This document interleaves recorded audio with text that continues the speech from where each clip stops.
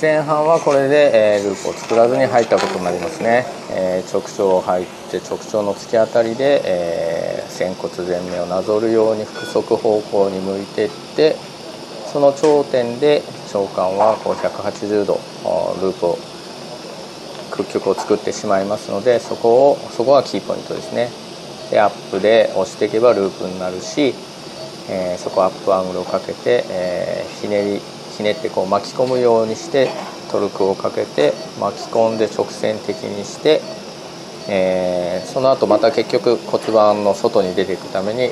腹側方向を向いてスコープは進んでいくと。でその腹側の頂点がターニングポイントになります。でそこからはあ右ひねりで、えー、等速背側にある SDJ に向かって腸管沿いに